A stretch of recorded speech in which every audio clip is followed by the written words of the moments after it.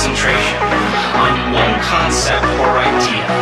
Literally doubles the number of connections in your brain, literally produces physical evidence as a result of your interaction in the environment. So then all of this philosophy, this intellectual data, this theory, this knowledge is stored in that neocortex called your thinking brain, called your thinking brain, called your thinking brain, called your thinking